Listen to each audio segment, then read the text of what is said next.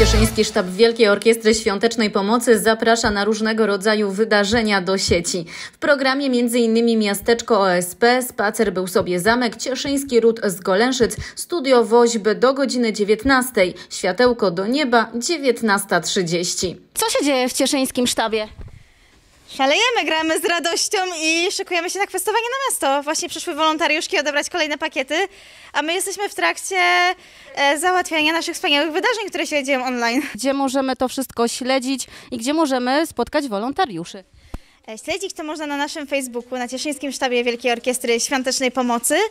E, naszych wolontariuszy można spotkać wszędzie, głównie w okolicach rynku, ulicy Głębokiej, Menniczej, ale w okolicach rynku, ale oczywiście są na przestrzeni, że tak powiem, całego Cieszyna, aż po ulicę Katowicką, więc e, jeśli ktoś w tamtych rejonach mieszka bądź e, po prostu jest, to też są kwestujący. Nawet u nas w sztabie są wolontariusze kwestujący, więc jak ktoś przyjdzie do sztabu, zachęcamy.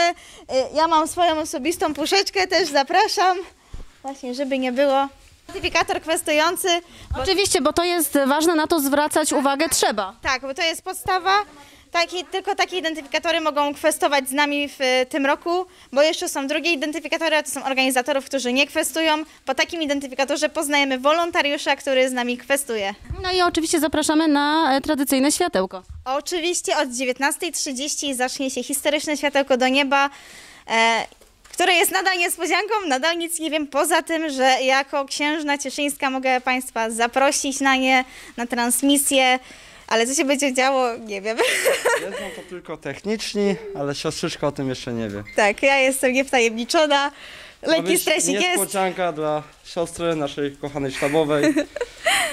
To nie zdradzamy, czekamy w takim razie na tą niespodziankę, czyli co? No zapraszamy tutaj wszystkich e, do wrzucania do puszek i do wzięcia udziału w tych wszystkich akcjach i wydarzeniach. Oczywiście zapraszamy wszystkich, pamiętajmy, żeby grać z głową.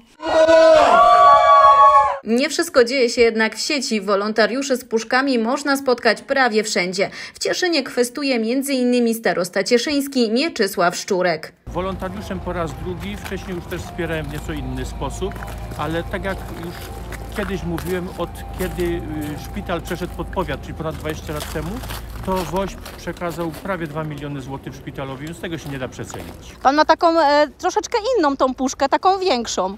Pani redaktor, taką mi przydzielono, pewnie organizatorzy liczą, że ją napełnię. Ale już jest napełniona do połowy?